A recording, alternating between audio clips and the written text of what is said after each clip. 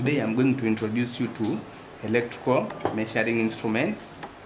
Electrical measuring instruments are divided into two, analog and digital. The analog ones are these meters you see here. They measure by deflection of a pointer moving along a graduated scale. The first analog instrument we have here is the galvanometer. The galvanometer is used to measure slight currents. It can detect or measure little currents and give you the value. The second one is the ammeter.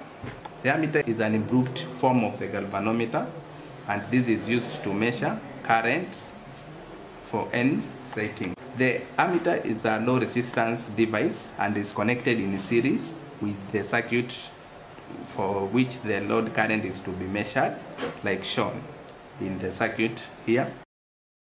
The voltmeter is used to measure potential difference between two points.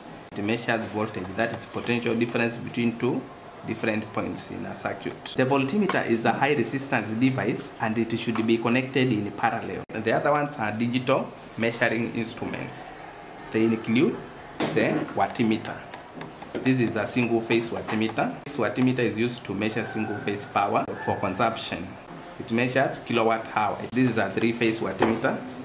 This one, this one is a digital wattimeter, which is a three phase wattimeter. All these are used to measure three phase power in kilowatt hour. The other one is the multimeter. It consists of very many meters which are designed in one meter. That is the there is the ohm meter and the many other. The other one is the clamp meter. The clamp meter which is used to measure current by sensing the electromagnetic field that is generated by current flowing through a conductor. The other one is the Q meter. The Q meter is also called the LCR meter. It's used to measure the Q factor or the quality factor of a coil. It can also measure the inductance, capacitance, or the resistance of the circuit. The other one is the lux meter.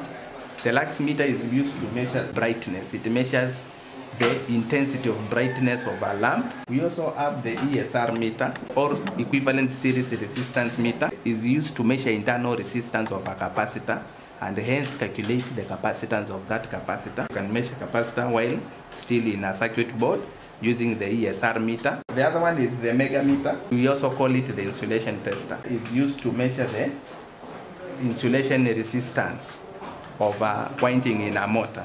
The other meter is the earth leakage tester. The earth leakage meter, it measures any current which is leaking out of your circuit up to the earth. Cathode ray oscilloscope, the CRO.